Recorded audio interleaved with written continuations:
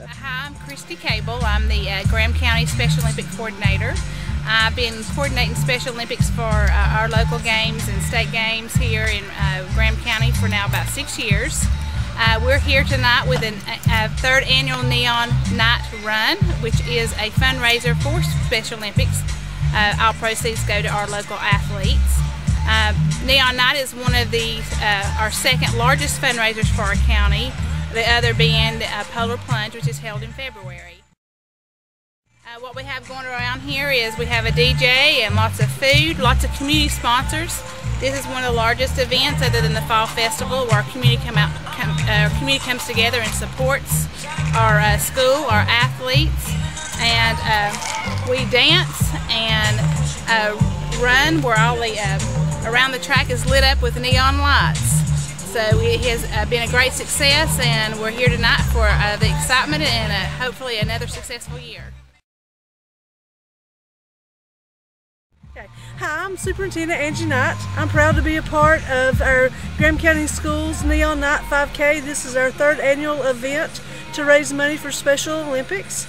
Personally, I've been involved with Special Olympics for about 29 years as a special ed major in college and then as a special education teacher as my um, my former position uh, that's my heart is with children with special needs as, as now it's with all children but uh, we want to celebrate the diversity we have and, and then to celebrate how much we're so much more alike than different.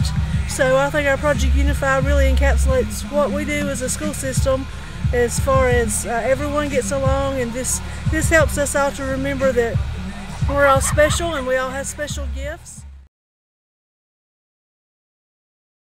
Um, my name is Myra Lynn and I am the elementary art teacher, grades kindergarten through sixth grade and I am helping with Special Olympics. I've been involved with uh, the Olympics here in Graham County for the last four years.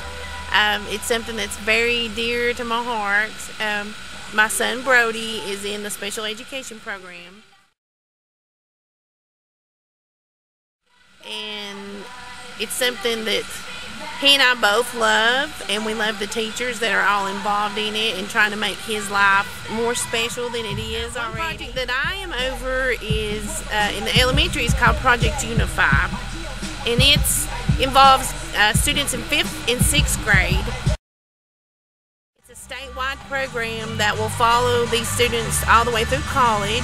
Once they're involved in it, they'll always be involved. One thing that the Project Unify does uh, for our students in the special education program, for like my son Brody, uh, he has issues with his hip and he can't run. So one of these kids will be his runner, and it just touches my heart because they love him as much as I do and, and want to help and that's part of Special Olympics too is, is just helping these kids feel as normal and as wonderful and as special as they can. Hello, my name is Jerriana Roper. I'm in ninth grade and today I'm going to talk about how Project Unify is such a great impact on our school. So I think that Project Unify really changes people's lives and it's just a great thing for the kids that are unable to do the things. It just really helps them to go to Special Olympics and stuff. I just think it's made a great impact on many lives and it's just a great thing. It has impacted my life on making me be thankful for the things that I'm able to do and make me realize the things that some people aren't able to do. I also enjoy helping others and seeing the big smile on their face whenever they're able to do stuff that they don't usually do in their everyday life. So that's how it's impacted me. That's all. Thank you.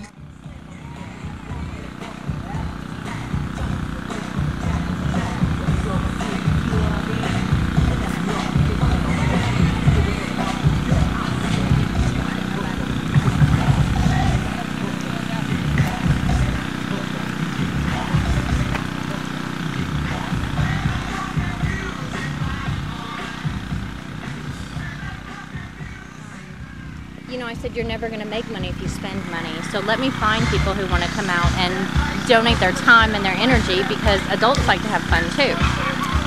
So once it gets really dark, you won't even see the trees. It just kind of all glows and it goes all the way around.